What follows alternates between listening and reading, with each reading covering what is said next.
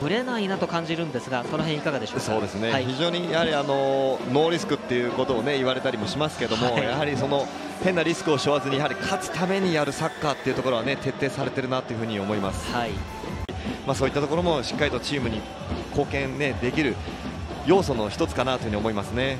まあ、もちろん前線の選手のその頭を自分を超えたボールに対していかに戻れるかどうかですよね。はい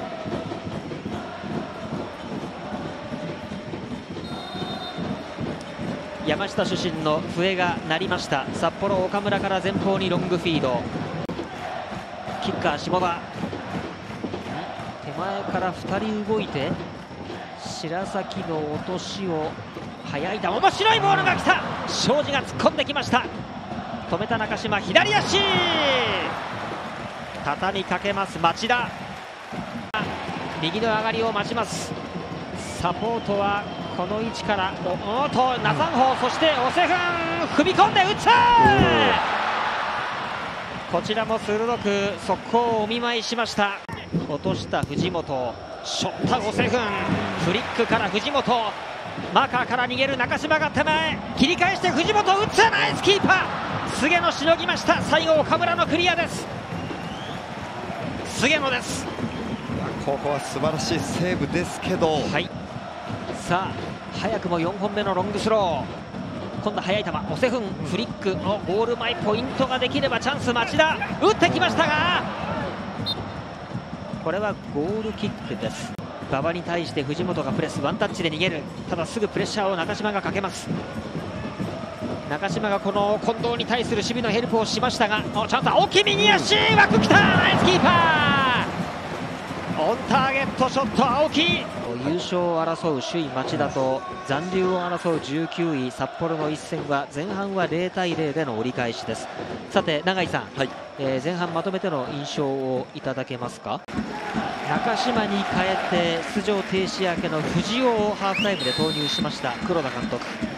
山下主審の笛が鳴りました。後半の開始です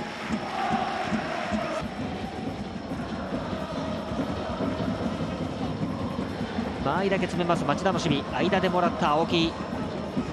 持ってますがまだ踏み込む形にはなってません。札幌。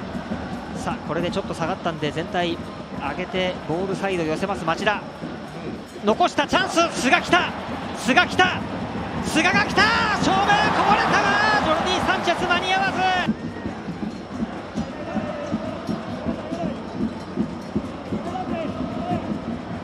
ペナルティの横。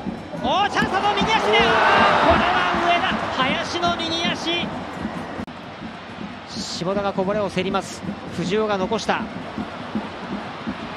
相馬クロス。デュークに届かない。林。中を狭くする札幌。杉岡は預けて中に入ろうとしてます。相馬クロス。デュークヘディングどよめきました祇園町田スタジアム。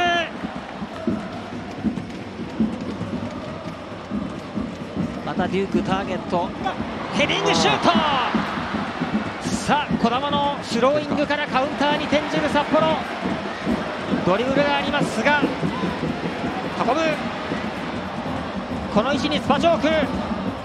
ずらしてスパチョーク。パチョーク最後フィニッシュ。仕切り直しの左コーナー。相馬巻いた。ヘディング!クローズ右ポスト!まだある!庄司折り返した!お児玉取った!